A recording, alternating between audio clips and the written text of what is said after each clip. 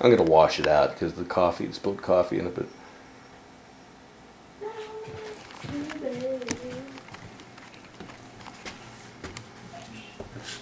what are you doing, Emma?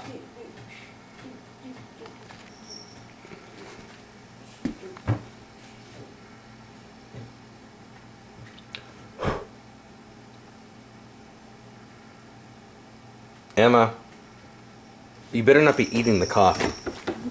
That's what she's doing. Oh, dang, you are not going to do that.